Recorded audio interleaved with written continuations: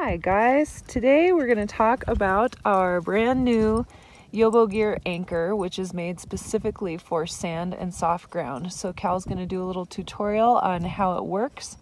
Take it away Cal. Alright, each anchor consists of a spade, a 14 inch stake, and a cable. So first thing you do in, in soft sand is dig a trench down as, as far as it's easy to dig. So just take your little shovel and scoop, scoop out the sand.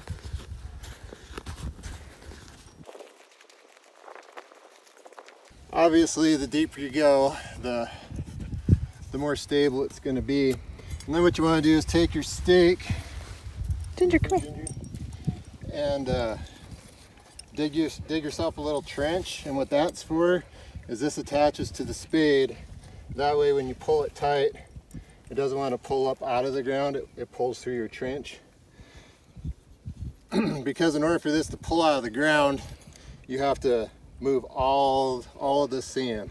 That's, that's the purpose of the spade.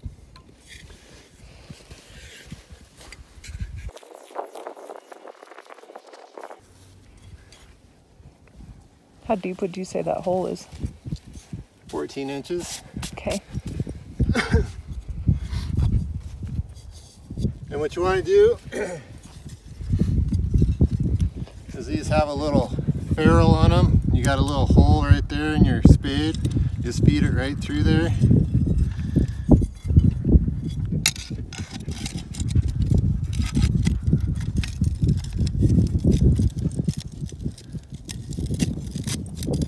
Slide your stake through like that.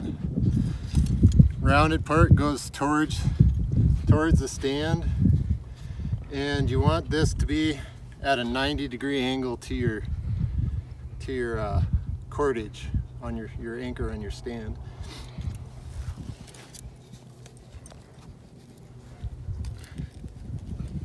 So that's how it looks when you start pounding it. And then uh, I'm not just hitting this a water bottle, I actually made a, a water bottle hammer because I always have my water bottle with me. There you go. And then you just pull that tight and you fill it back up with sand.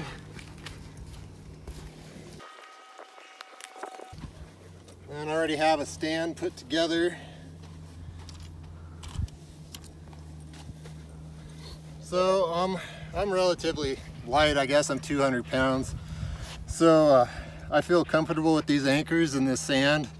Uh, if you don't feel comfortable, and we'll show you later, just use two anchors and that'll also make it more stable in the wind as well. But put those on there.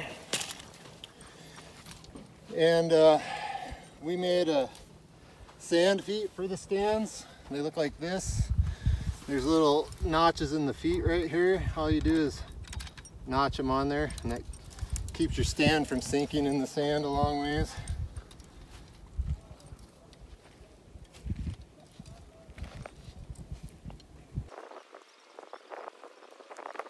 And this side of the hill is a little higher, so I'll just lower it a pinch and uh, push it into the ground.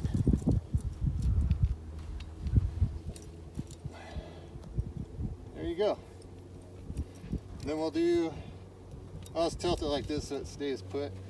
And then we just do the other side. All right, we're over on the other side, so we'll do the same thing over here and get it all set up and then we'll hook our hammock up.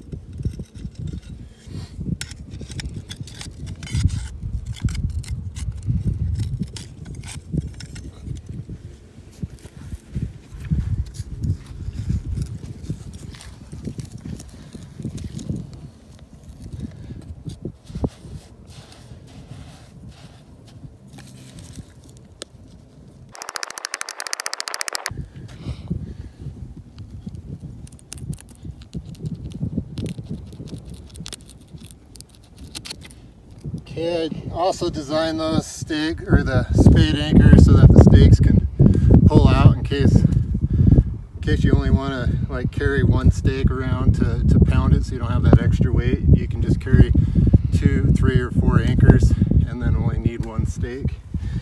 So, So it's optional. You can leave the stake in or pull it out.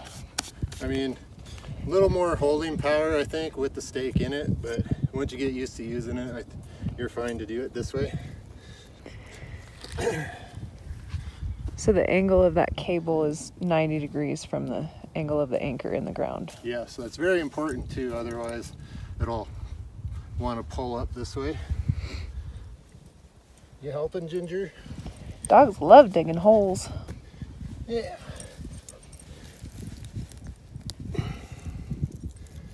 All right.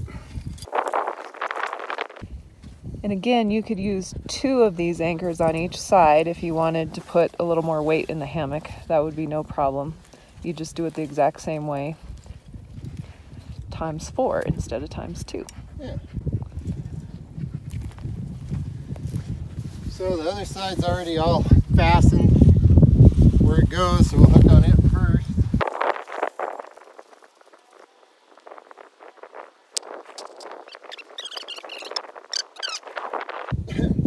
That also lets your legs tighten up. And then what you want to do is just tighten this up a touch more and you're good.